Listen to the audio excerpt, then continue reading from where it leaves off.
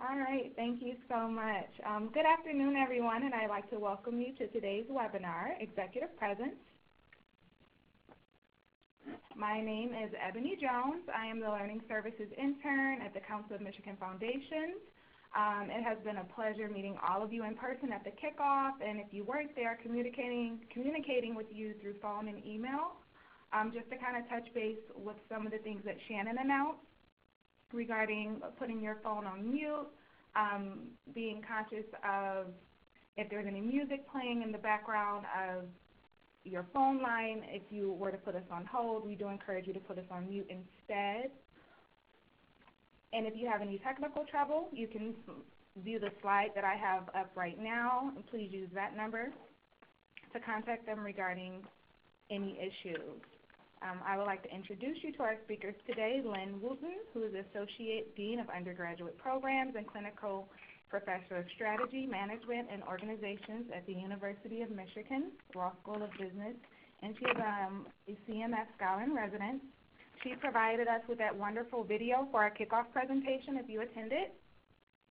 And Shannon Polk, um, who helped facilitated our earlier discussion on Thanksgiving food that we're having next week, um, who's an awesome facilitator as well, consultant and attorney specializing in the nonprofit and philanthropic sectors.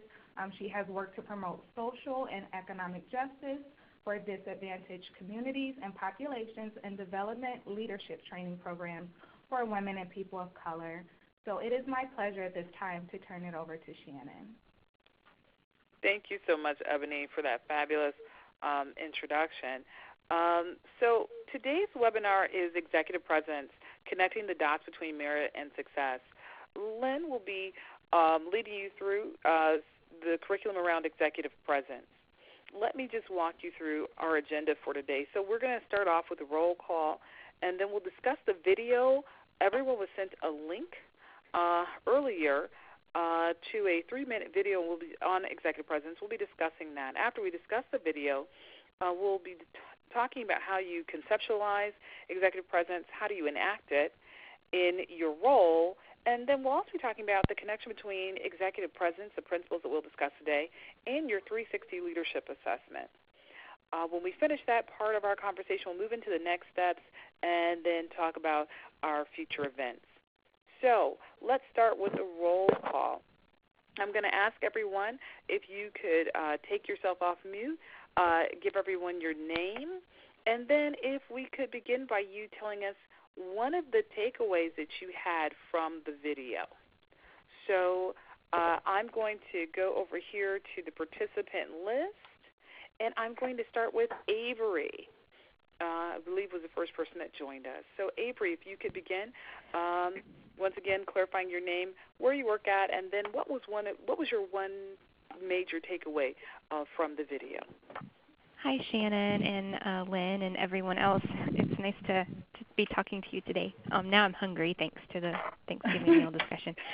Um, so the one thing that I um, kind of, as I was taking notes on the video, highlighted was that um, the piece about be honest about your assumptions so you're not ambushed by them. I think that's a really good point that it's okay to have some assumptions, but just be aware of them. Okay, great.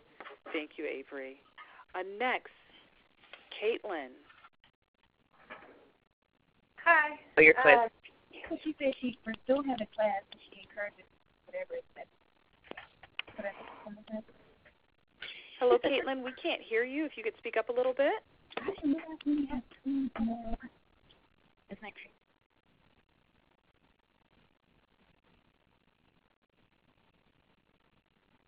Okay. For some reason, we're having a little difficulty hearing Caitlin, so let's move. Let's come back to Caitlin and move on to Kayla. Hi, can you hear me? Yes. I just got connected into the audio, so I apologize if I missed the first part. No problem. Um, so right now we're just doing roll call and asking everyone to give their uh, one takeaway from the video that you were asked to watch prior to okay. the webinar today on executive presence. So I really liked the um, when the presenter asked us to think about experiences where we either gave a really strong presentation or a really not so strong presentation, or um, sometimes we felt that we communicated very well versus we communicated not well at all. And then to think about the circumstances around that and the strategies that were used, um, because it immediately uh, caused me to do that. So I did think about certain situations, and it was helpful in framing the strategies to me. All right, thank you. Kaylee.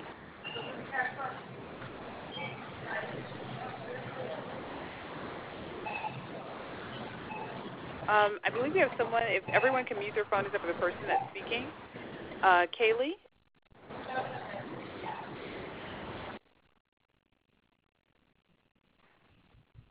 Oh, Kaylee said she's not able to connect to the audio. Okay, no problem. Moving right along to Laura. Laura Uh, Ott. Oh, okay. Good. Good afternoon. I had heard another Laura, and I wanted to make sure it was the right one. So I am Laura Oddie.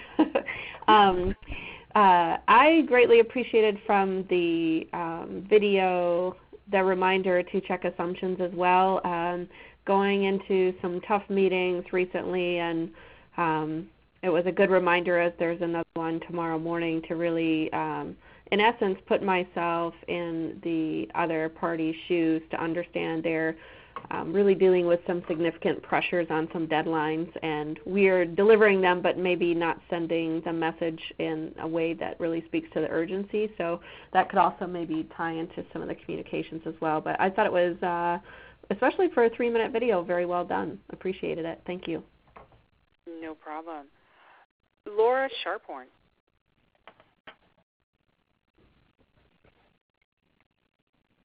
Hello, Laura.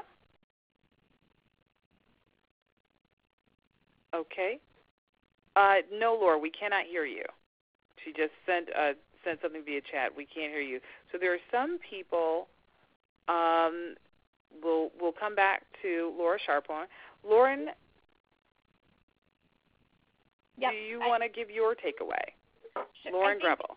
Yeah, um, it's uh, the same with the assumptions um, that were also mentioned. Just making sure that you know to check those at the door, and um, just that's basically what I took away. Especially going into a big meeting um, tomorrow, and making sure that I'm doing that um, and being aware of that. Excellent. Thanks. Maurice. Good afternoon. Um, so echoing everyone else, I, I obviously um, thought the assumption piece was kind of the eye opener for me, but I think that it really connected to um, the third part, which was um, energy.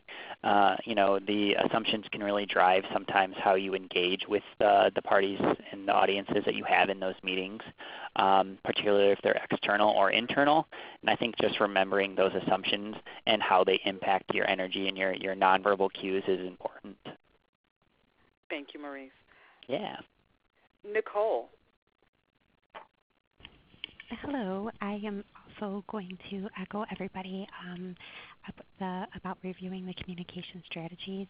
Um, I found that really helpful, especially I am a terrified public speaker, so basically the information that I gave about um, being prepared and reviewing all your strategies before your meeting was very helpful. Awesome. Thank you very much. Thank Do you. we have anyone else who has joined us that would uh, like to share their takeaway? If you could just state your name and then give your takeaway. Hi, yes, this is Ben Oliver at the Grand Rapids Community Foundation.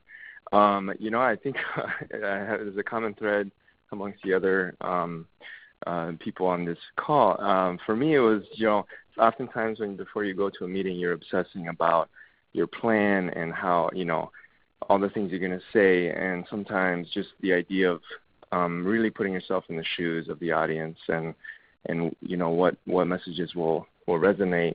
Um, I think can even take a little bit of pressure off of that notion of presence in a meeting um, as well, because you are starting with that empathy and you're thinking less about yourself and you're thinking about the others. So that was the some things that recalled when I saw the video as well. Thank you, Ben. Appreciate that input. Any anyone else? This is Lucille, and I'll piggyback off what Ben just said, and it would be energy for me. that stood out, and um, when I think of myself um, or client to client, how I have to sometimes give myself a break in between to get myself present in order to walk in and be totally um, mindful and present in the next meeting or with the next client that I'm going to be at or be with. Certainly. Hi, this Anyone is Laura else? From High Scope. Thanks, Laura.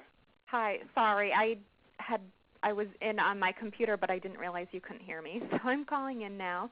Um, so I really like the suggestion, as um, a couple other people mentioned, of to reflect on examples of when I've been on my A game and when I haven't been, um, because that did bring up some themes for me. Um, so that was really helpful to reflect on. Um, and then another item that she said that you should videotape yourself um, to observe the nonverbal communication that you're giving off. Um, and I have never done that, and I've I've heard a couple times to do that. Um, and so I think this, just hearing it one more time, was kind of the kicker for me. So I'm definitely going to do that sometime soon. Excellent. Anyone else want to weigh in on the video discussion? Yes, this is Takia Nelson from the Kellogg Foundation. I'm on the. Um, so I think that for me, the whole the whole concept was a eye opener for me um, because as much as I I want to be authentic in, in various interactions, sometimes I don't see um, that being intentional and like um, really thinking about my presence, how do I interact, and um, and, and just really just taking the time to think beyond my presentation and the information that I want to convey to how do I want to be received and um, how am I going to best show up um, beyond you know just looking professional. So I think that the the, the whole concept was um, an eye opener for me, and, and definitely the tips on videotaping yourself and um, and your energy were um, really things that I'm going to try, even though I'm terrified of seeing myself on videotape. Well, I will. I want to encourage everyone if you have not uh, videotaped yourself doing a three to five minute presentation, it is probably one of the most helpful things you'll do to understand uh, how you're presenting yourself, verbals and nonverbals, as well as the energy level that you bring uh, into meetings and into conversations. It's uh, a great way to uh, get feedback uh, that is unfiltered and extremely accurate. Uh, is there any any other participants on the call that uh, have not spoken up? We just want to acknowledge that you're here. Um, so we just want to make sure we've got that we're accurate with our roll call. Anyone else present? Hi, this is Suzanne Moran with the William Davidson Foundation. Hi, Suzanne. Thank you for joining us. Oh, you're welcome. Anyone else? All righty. Well, I hope that everyone um, enjoyed that video. And now I'm going to turn it over to Lynn. Thanks, Shannon, and thank you for sharing uh, participants on the phone. I enjoyed your takeaways, and I think that the video was the perfect pre-work for getting you to think about executive presence. I'm sorry that I could not be with you at your first meeting, and it's obvious I had to videotape myself, but as Shannon said, videotaping is a good exercise, but you still never like watching yourself on video, but it's time it does give you self-development. So today what we're really going to focus on is we're going to take that career management wheel and if you think about the seven E's that are components of the will, we're going to focus on executive presence. And so as I'm starting to open up this session on executive presence, in the chat function, I'd like you to share um, someone you know. It could be a Hollywood star, maybe it's someone on television, it could be a local leader, or someone, a favorite book character. Who exemplifies executive presence for you? So if you type that in the chat function, I like to see. To the left of your screen, you have a chat function. So just I'm asking everyone to type one person who in their mind has a high level of gravitas and executive presence. Laura, thanks for George Clooney and President Obama. Yes, I think a lot of people would also say Michelle Obama. Yes, Suzanne Michelle Obama. Michelle Obama. Maurice, I don't know Dumbledore. Laura Bush, Dan Pallotta. Kim or Houston Philpott surely does, yes. So these are great examples. When you hear me today speak about executive presence, I'm talking about the ability to project gravitas. It's confidence. It really is poised under pressure. It's decisive. It entails your communication skills, and that's why I think today's video was so important. Your speaking skills, your ability to read an audience and communicate to that audience and listen, and the appearance, how you look. Um, Laura, thank you for yours for Elizabeth Warren also. So when we think about executive presence, um, it's a great asset to have, but often when you don't have it, it really can become a career staller. And if you look at this survey right here, it says executive presence at my company is defined and conform to traditional white male standards. And so you see a lot of people who are African American feel that way, even Asian and Hispanic. Um, feeling the need to compromise my authentic behavior to conform to executive presence is also a common th- thing. And then uh, many people uh, are unclear about how do I build the skill set? How do I improve my executive presence? Interestingly, if you look at that, about 84% of Asians and 80% of Hispanics. And so we do know that individuals that do not have executive presence, often it becomes a career staller. So the traditional perceptions of executive presence are really this notion of, okay, people think you're leadership material if you're assertive, if you know how to smooth and show teeth, um, if you can command a room. Sometimes it's associated with appearances, so being tall or having gray hair and being male. And often, if you think about it, right, 96% of Fortune 500 CEOs are male. Only 4.4 percentage are, are color. And so our image for executive presence sometimes does become that senior leadership, seasoned, tall, white male. Um, thus, it is assumed that when we start to think about our executive presence, that's the attributes that we have. And if you only take away one thing from this webinar today is I want you to think outside the box. I want you to create your own narrative for what executive presence is and make your own strip. I want it to come from your values, your principles, and to be authentic.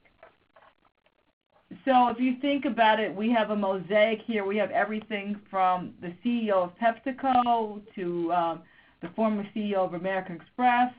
We have a university president. We have the CEO of the Detroit Science Center. So executive presence comes in many forms, and that's why I started with this exercise here, getting you to think about those forms and those people. Because one way you can develop your own executive presence is by looking at role models and thinking about the attributes you would appreciate in them, ones you want to adopt, ones you want to adapt, and how you can learn from them. So let's um, unpack. I gave you the big definition of executive president. I'm going to revisit it, but I also want you to think about each component, and that's what we're going to spend some time for with for the next few minutes. So if you think about it as an or, and it's an or and people are able to command the room because they're confident. They're also competent in what they do. And we know from the video and many of our conversations that being confident comes from being prepared and investing in your education, your professional development, and your life experiences. The third big component of executive presence is interpersonal skills. And then finally, this um, thing that kind of is really the overlay for executive presence is the ability to convince others. And you're convincing others because of two reasons. You're credible, you can get the job done, you know what you're talking about, and you're authentic. You're not faking it. You're embracing your, who you are, and you're bringing your best self to a situation as you demonstrate your executive presence. So when we think about the dimensions of executive presence, let's start to think about character, substance, and style. So character, it's the most foundational value. It's who you are.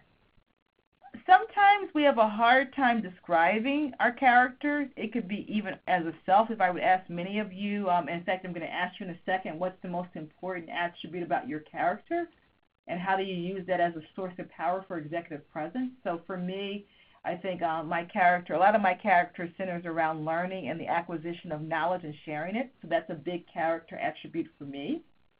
But when you start to think about character, it's those values. It's your North Star. It's things such as integrity, courage, optimism, the ability to be focused, to have discretion, to have honesty. And character is so important for executive presence um, because it helps you to clarify your personal values. But even more importantly, as I said, it empowers you to behave consistently when you lead. If you know the source of your power for character, you will consistently use it. It will be the inner strength, even if you're an introvert or don't like to command the room or make public presentations. So the core, some of the core dimensions of character are: is a person authentic? Are they true to themselves? Are they able to show concern when they're in a room? Integrity. Am I telling someone the truth? Do I live by my values? Do I demonstrate ethical behavior? Restraint is a very big one. You can think of restraint as manifesting with emotional intelligence. It can be discipline. It can be focus. But you don't want to be known as the person who really does um, is n- not emotionally stable, not calm, can't handle negative or positive feedback. And then the final dimension of character is humility. And humility comes in many forms. Um, one is it's taking the me and transcending to the we. It comes in showing gratitude. And so there are lots of ways to think about humility. It's appreciation for others' awareness. It's the ability to think about maybe the group that's marginalized or not popular. And many of these character substances we, we forget sometimes. We forget that a lot of people that we think highly of, it's because of their character. I, I think most of us would agree that when we think about Elizabeth Warren and Michelle Obama, they're very authentic. They have a concern for others. They lead with integrity oftentimes um, when they hear something, they have to lead with restraint and having the ability to be humble.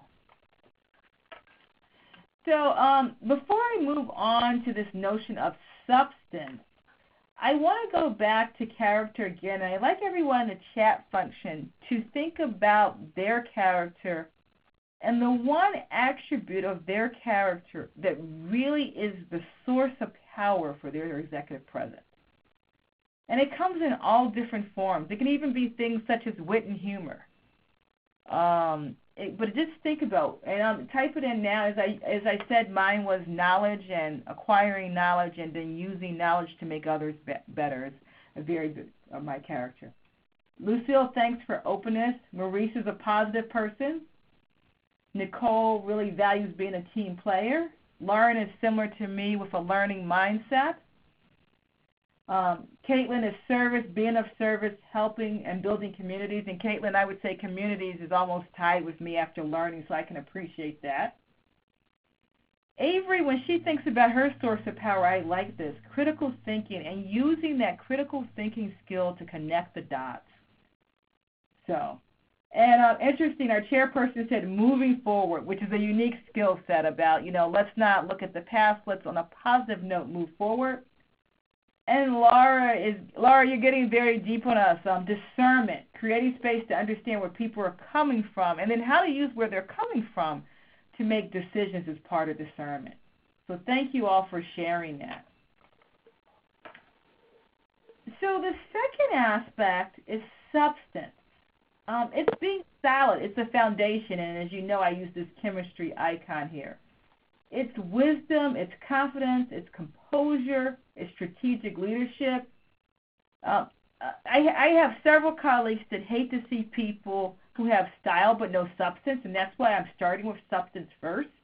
And imagine that maybe I shouldn't be using the chemical representation for substance, but maybe next time I also use a figure of an empty suit. And I think we all know people sometime who they can have on the most beautiful armor, external suit, but they don't have substance. So substance is important.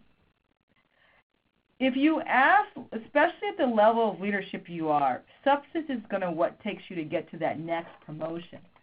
So how do you use substance to differentiate yourself? And we talk a lot about this, having that learning mindset, making those investments in substance so substance becomes part of your executive presence. So, first, think about how you can use your work or life experiences as part of your substance. Um, often, if you ask anybody I know, I tend to tell lots of stories about being a parent because I probably learned the most about leadership from being a parent to my two children. So, bringing your life experiences in.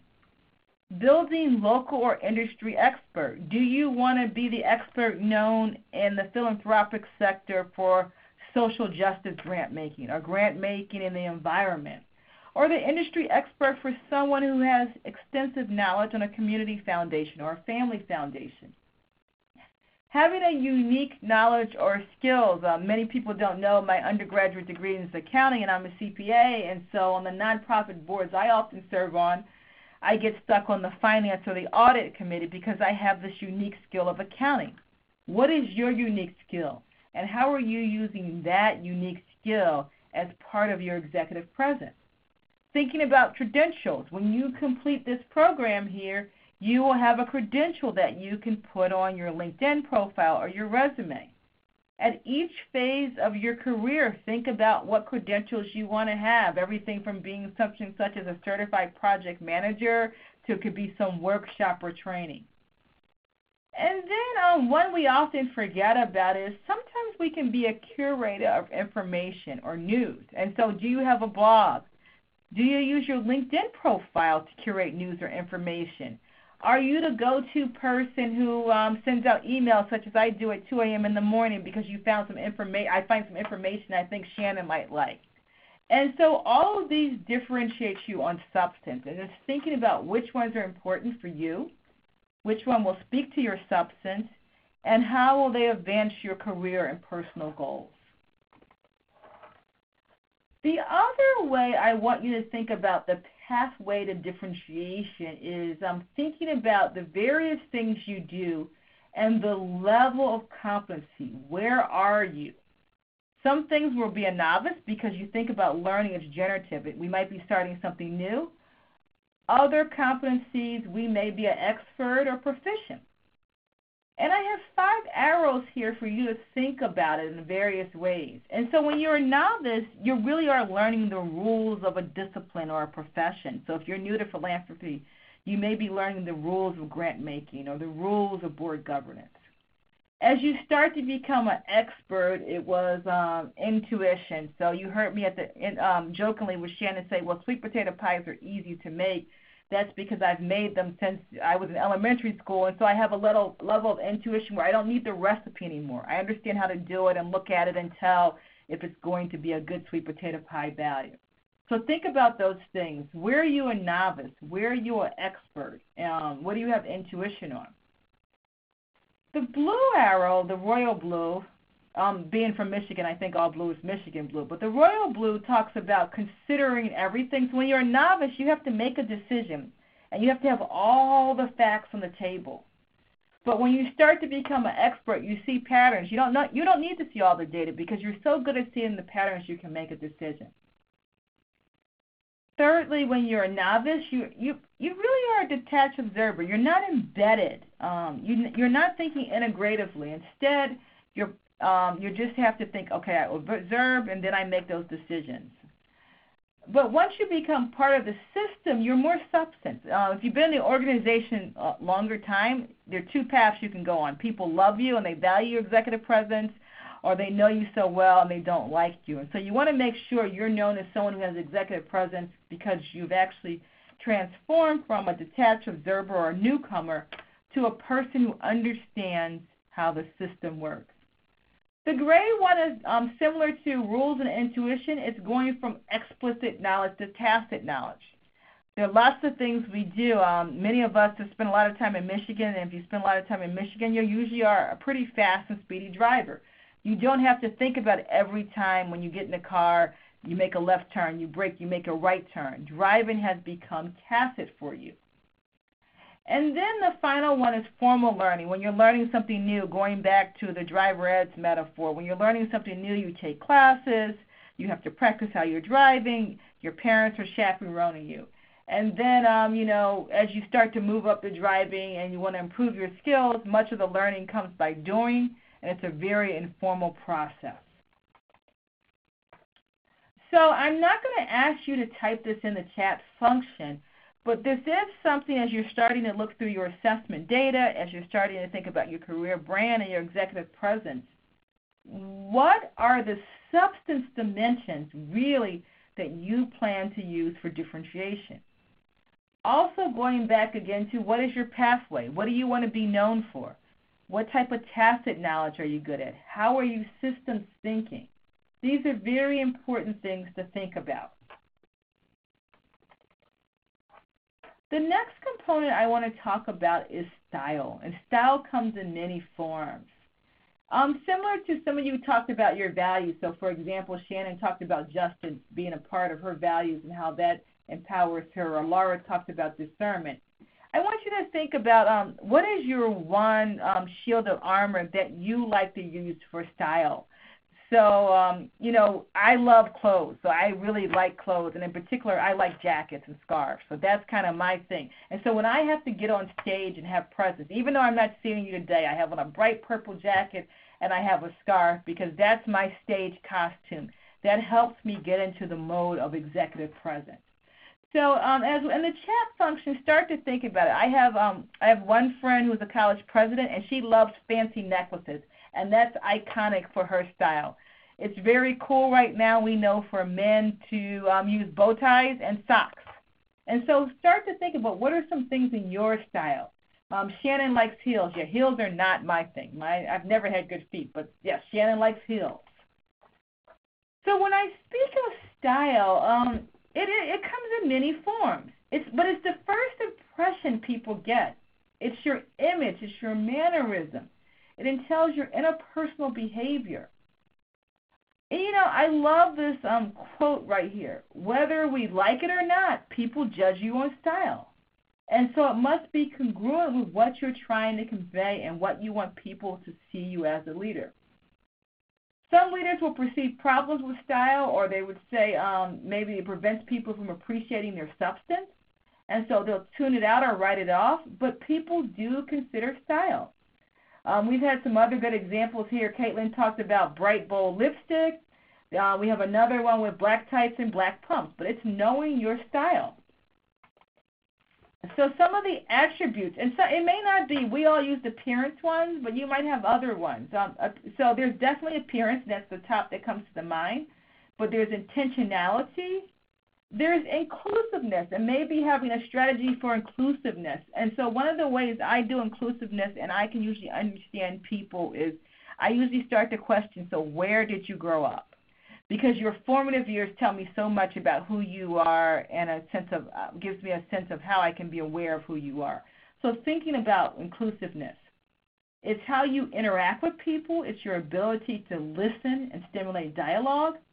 And then it's um, it's how you do assertiveness. It doesn't have to be rude. It can be done with grace. And so it's important about how you do assertiveness, especially I see the best executive presence is when you balance assertiveness with this inclusiveness and really care about people.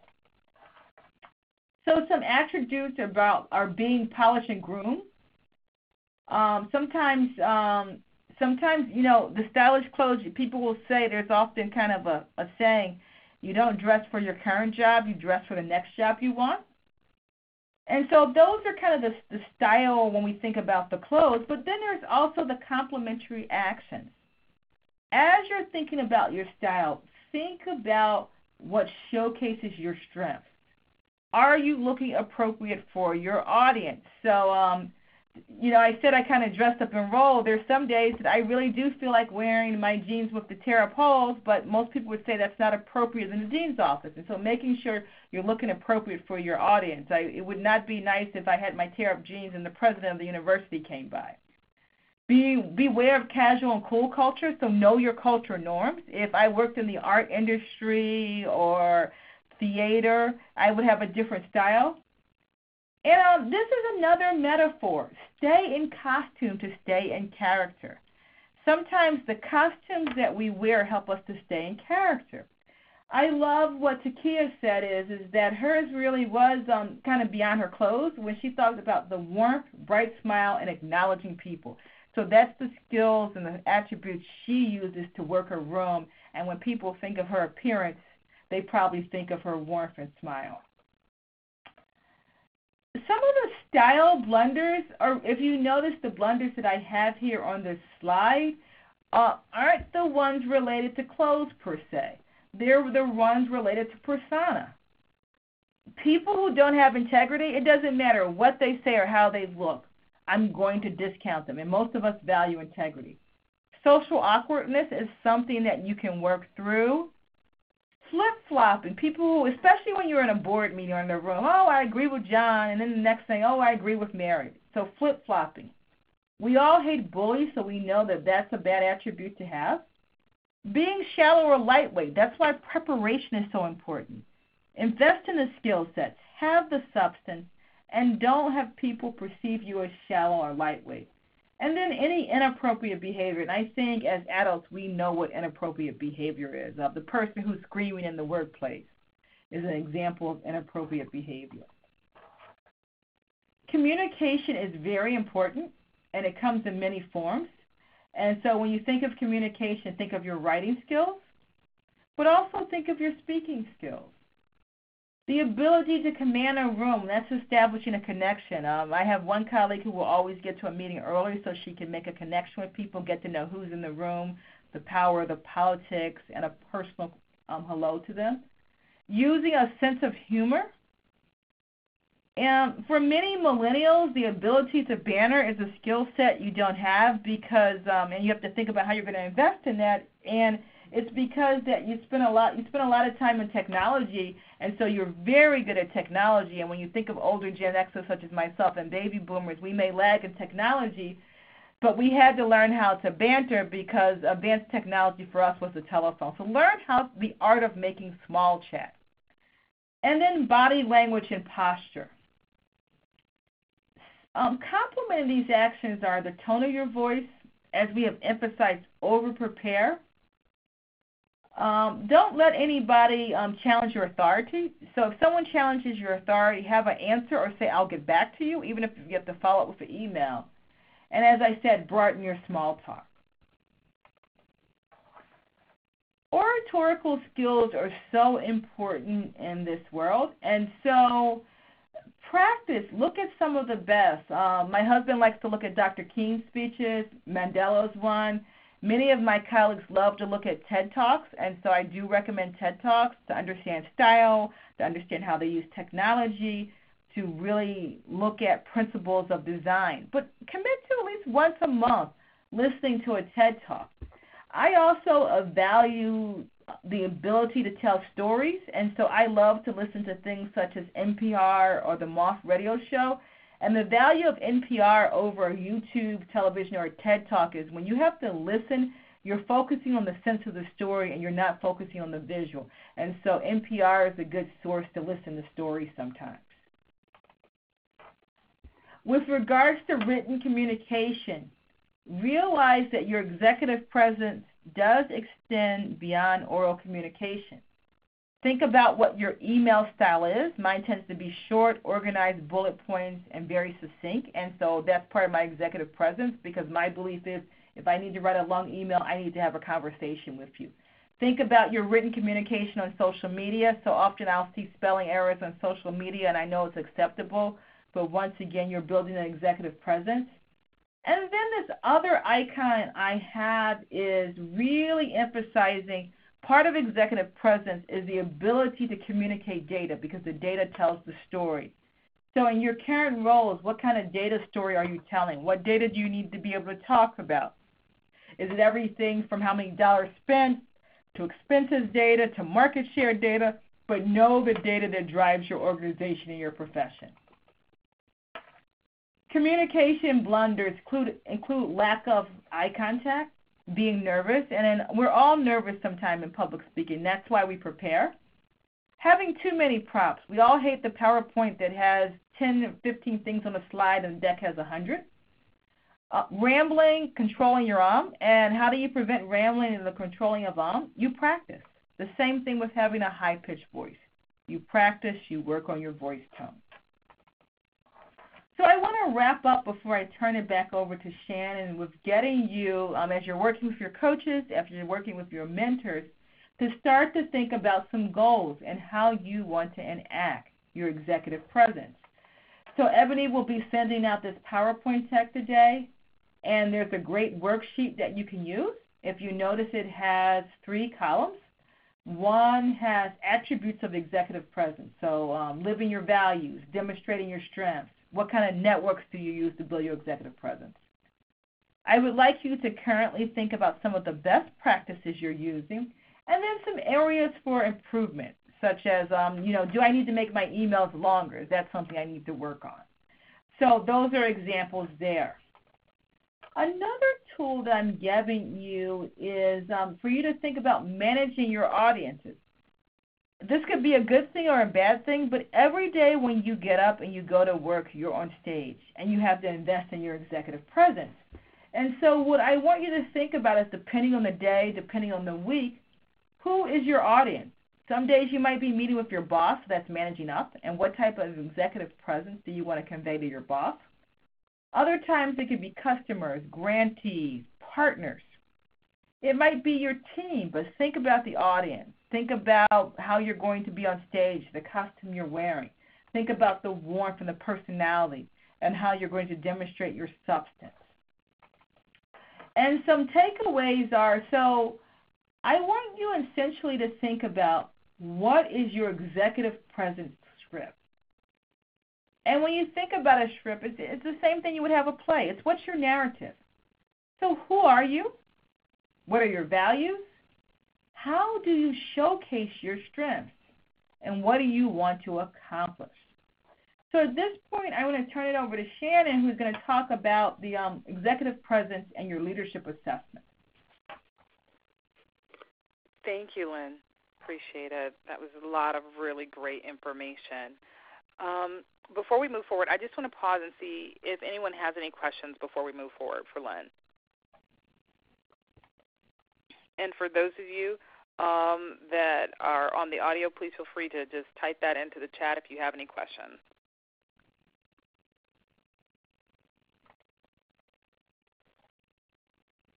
What I'd like to do is take a moment and think about executive presence in light of your 360 self assessment. Uh, by now, everyone has completed that self assessment, and I was wondering if we can just kind of reflect on just that process of what does it mean to do a 360 self assessment, to go in and begin to answer these questions about how you see yourself and how others perceive you? Um, can we just kind of go around the group and if you all can just maybe just say a word that describes how you felt about doing the self assessment?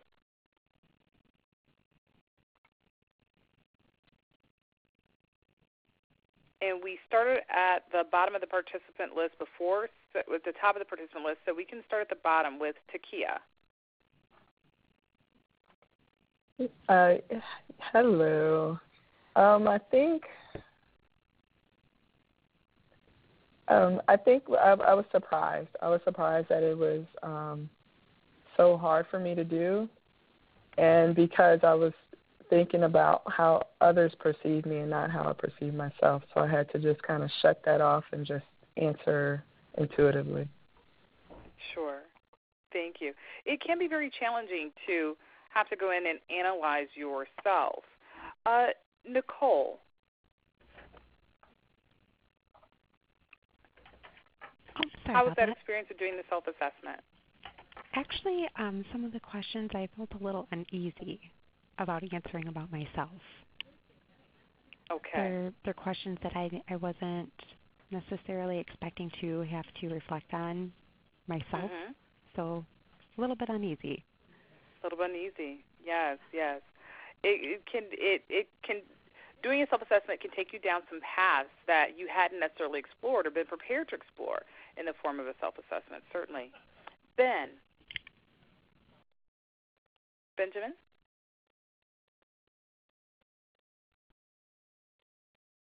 All right, let's move on to Maurice. Yeah, so um, for me, this uh, I kind of took uh, kind of a two-step approach to, to filling it out. I, I did more of a, a self-reflection before even going into the uh, actual questionnaire, um, and kind of took stock on some of the things that I can improve on.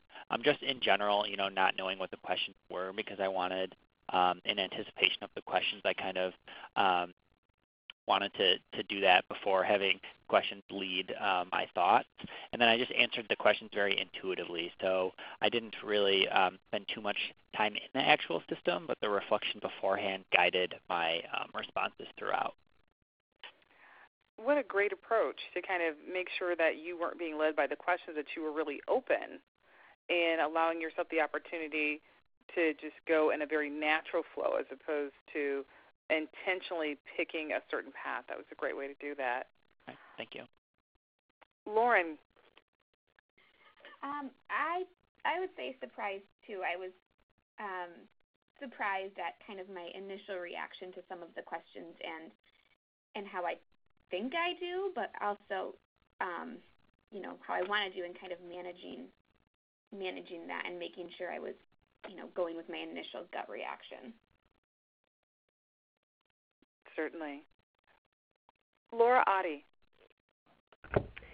Um, hi. I uh, I found the assessment to be um, a bit of a challenge, uh, similar to the first comment that was made. As I'm fresh uh, off experiences where white males saying the same thing um, in similar ways uh, as myself are praised by other white males, and there's a perception that their leadership um, is is stronger, and I can appreciate the dynamics. I think for me, it's you know kind of sifting through what's your own perception of leadership, what are others' perceptions of leadership, what's going on there, and and what do you do about that in a way that also um, maintains your authenticity and the things that you're proud of. I think that's um, kind of a real a real space that I'm in right now for some personal growth.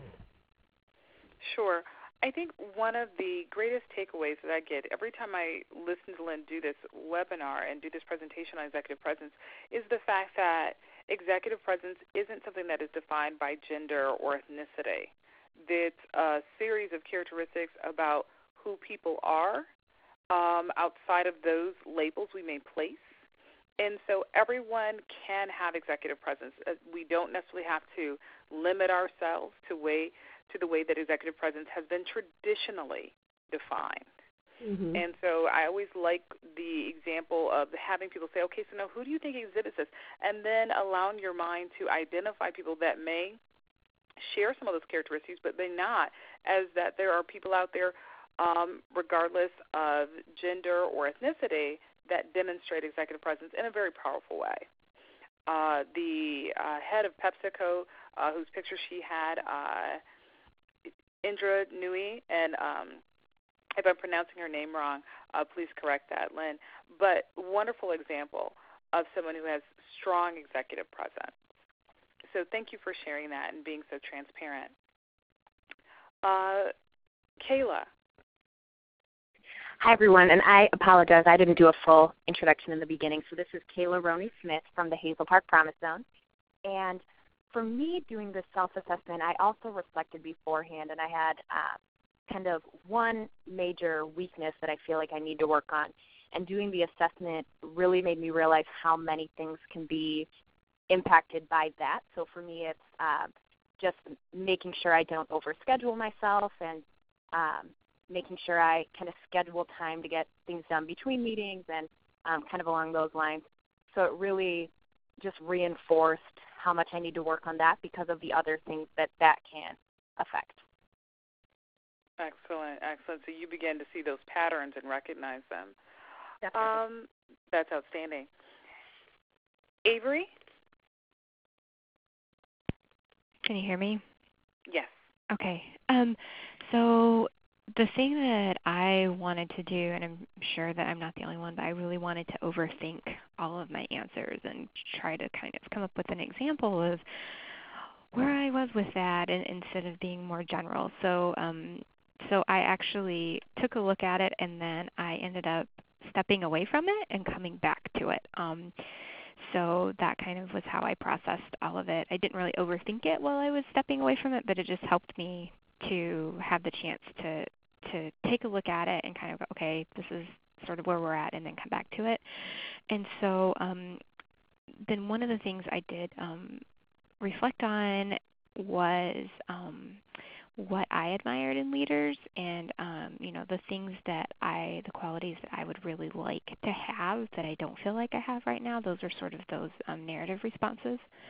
So that was how I tackled that piece of it. Excellent. Thank you, Avery. Uh, I just got a note. Kaylee, you're on the line now. Hi, yes, I called in. I wasn't getting um, any microphone from my computer. Okay. Um, but I can like be heard okay share? now?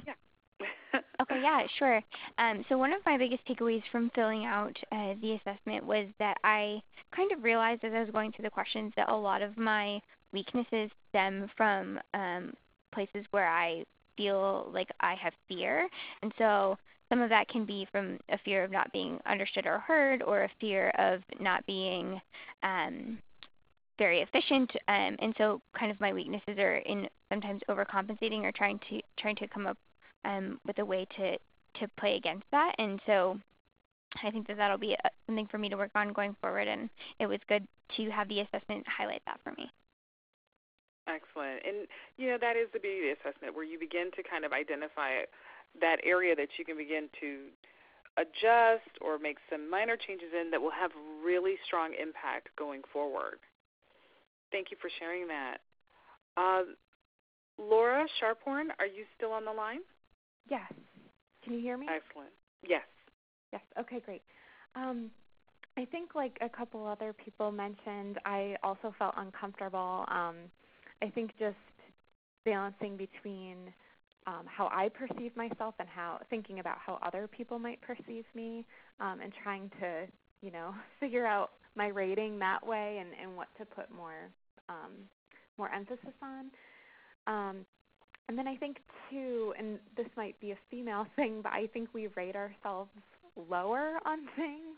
Um, and so I think part of it was just challenging of thinking about, well, wow, I, I really am good at this, or I'm good at this too. Um, so I think being honest in that and recognizing my strengths. Um, but then I think there were also things that I feel like I'm pretty good at, but I want to get better. Um, so I think I didn't know how to rate it because I was kind of thinking like, well, if I rate a little lower, maybe my coach will work with me on that. So should I rate it lower? Um, so yeah, I think it was just kind of weighing the options and balancing how to rate each item. Certainly. Uh, and, you know, I want to just kind of take a moment and touch on something that you just said about how uh, women may tend to be a little bit harder on themselves.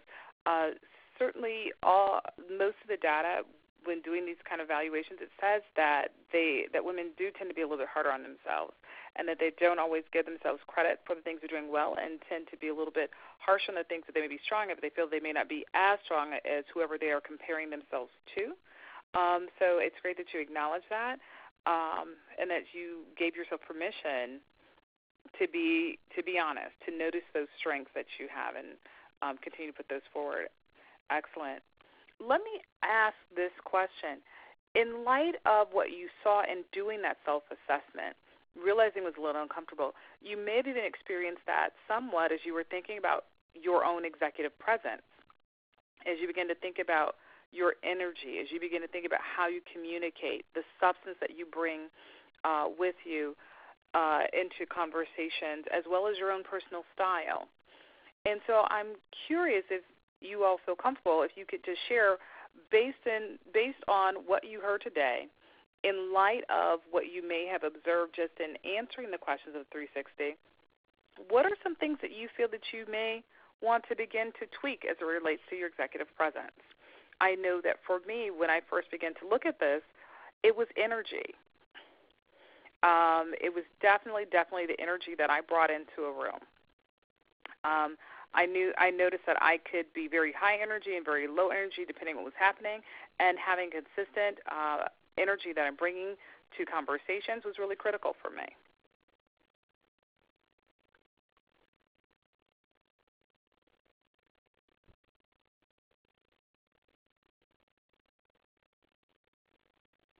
Is there anyone that would like to share one of the things that they think that, as they reflect upon their 360 and reflect upon uh, today's presentation, that they think, boy, I, I've now recognized an area that I'd like to begin to tweak?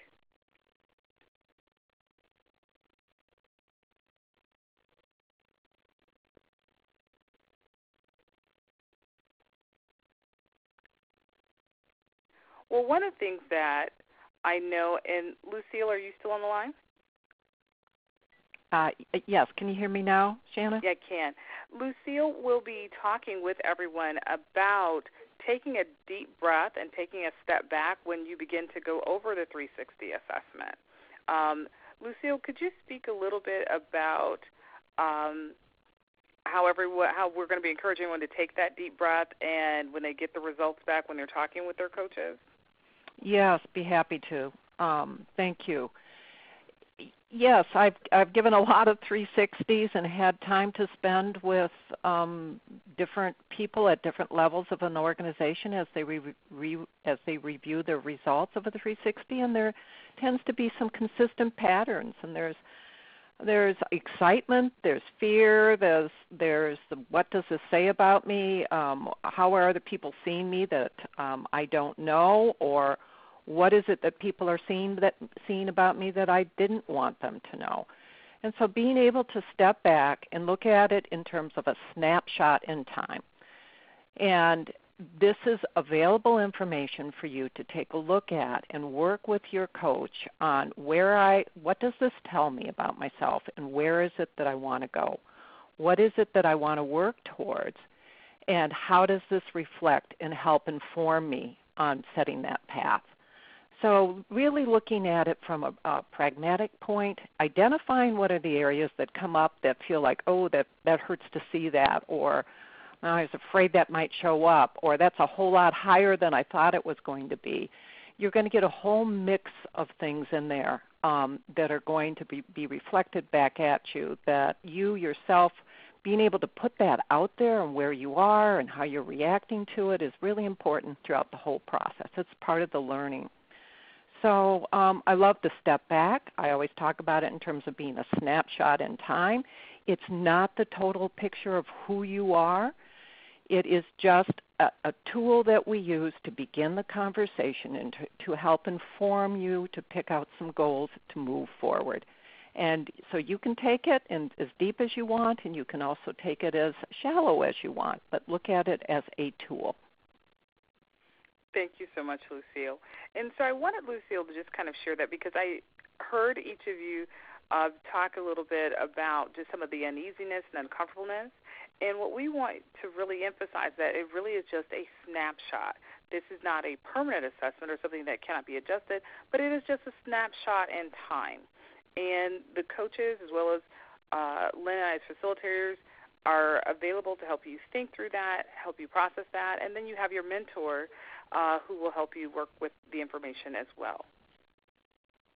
Um, Shannon, I have a, a, question. So it was Certainly. hard for me to um, respond very quickly to your answer because I, I felt like there was one element in everything that was talked about that I definitely would, you know, need to work on as far as um, just understanding executive presence altogether, and then um, and so I, I guess that my challenge is kind of understanding how this process flows because there are there are areas that I know I need to work on as far as understanding um, uh, my expertise and, and working on you know specifically how do I gain knowledge in a particular area to work on that that part of my development, and then also my my presence. And so, um, it's I just feel like there are just many different elements to kind of uh, work on, and I kind of feel like there are.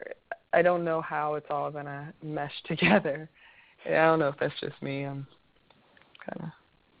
No, no. Actually, I, I I would doubt that you're the only person um, that may be feeling that way in terms of thinking about how the assessment and these different pieces, executive presence, and the other ones that we'll talk about, will all come together.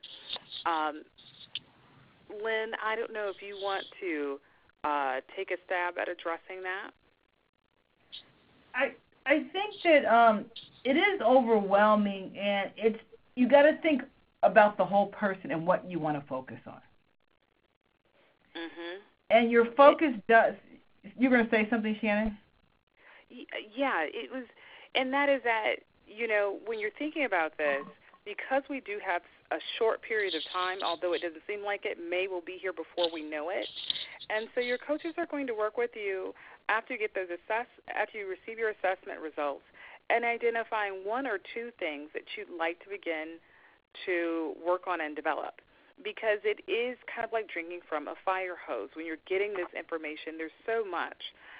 But you're going to identify one or two key areas where you feel as though boy these are the two things that if I begin to make some adjustments I could get the most leverage in moving to the next place that I'd like to be professionally and personally.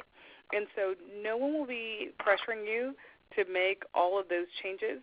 Uh, I know I embarked um, almost a year ago on a weight loss journey, and it was in getting healthier. And what was most overwhelming for me was the fact that I was trying to do everything at once. I was going to exercise, I was going to eat right, I was going to do all these things, and I had to take a step back and say, what's the one thing I can do right now? And just put that into play for a few months. And then as I began to do that, then I picked up another piece of that getting healthy puzzle. It'll be the same thing for this professional development um, journey for you. You'll look at maybe it's executive presence. It could be there may be some issues around, uh, specifically around substance, becoming that expert in one or two areas. It could be your communication style. Perhaps uh, for some people, they're a little bit more timid in meetings, and so they need to be a little bit more assertive. And so you'll work with your coach and as well as with your mentor about identifying those very simple steps that you can take, and we'll be along the we'll be helping you along that journey um, to identify that to tweak that. But no one will be asking you to um, conquer all of the results that you get back in one fell swoop. Right. And so Shannon, you and I always think alike. It's it's how you're going to focus and prioritize and what you want to accomplish in your professional and personal life. It may also be integrating the feedback from your mentor, your coach, and your also your 360. And starting small and, and things that you can achieve those small wins. Mm-hmm. But thank you for thank you for that statement. Um, is anyone else feeling the way? If so, if you can maybe chat a yes, I'm feeling a little overwhelmed at that point because we want to hear from you and know when we need to take a pause and take a breath because we know that we're giving you lots of information.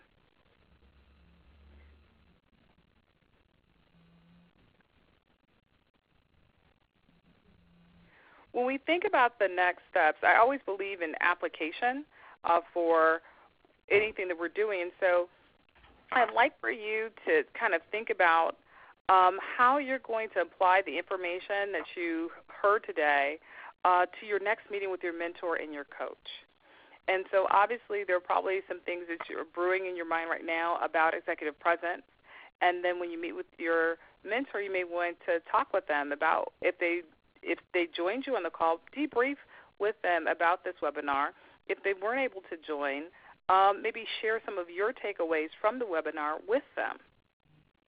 And that's a great conversation. And for those of you that may not have um, had a recent connection um, with your mentor, maybe send them an email about the takeaways that you had after watching the video as well as um, participating in today's webinar.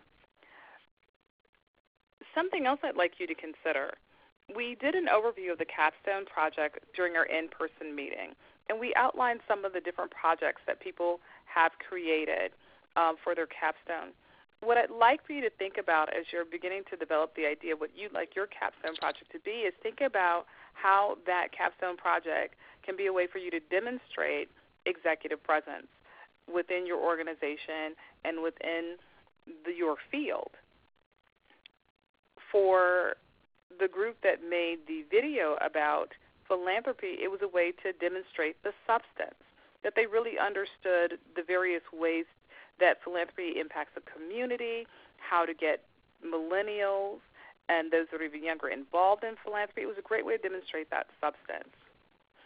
Uh, for those that have done giving circles, they use their capstone project as a way to demonstrate their substance as well as an opportunity to demonstrate how they communicate, communicating with their peers and bringing them together and demonstrating that leadership style as well. So I'd like for you to, as you're reflecting upon your capstone, to also think about how you can begin to employ the capstone as a way to demonstrate your executive presence.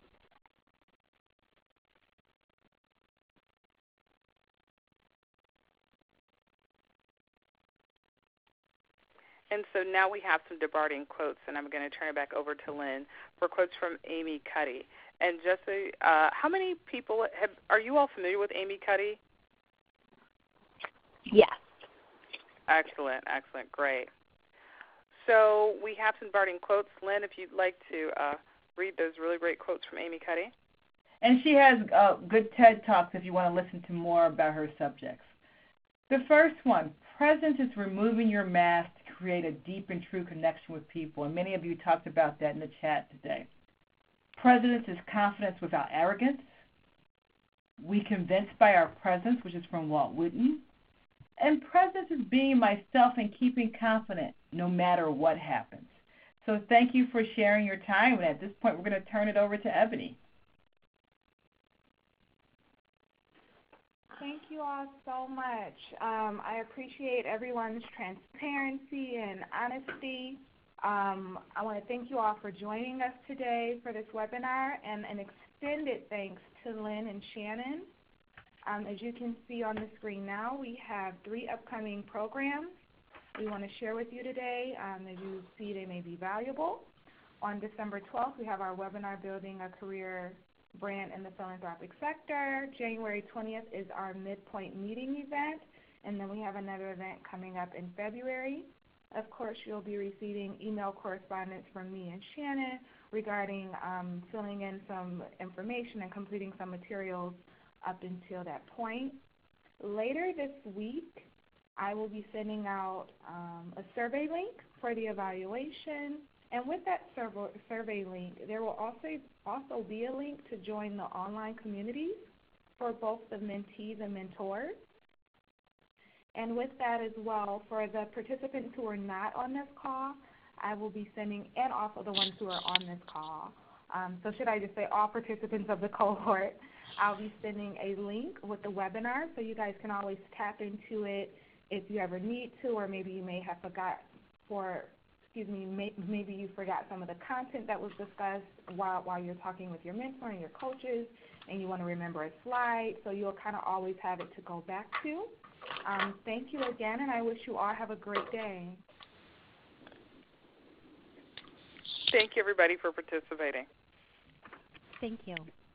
Thank, Thank you. you. Thank you, Shannon. Thank you, Lynn. Thank you, everyone.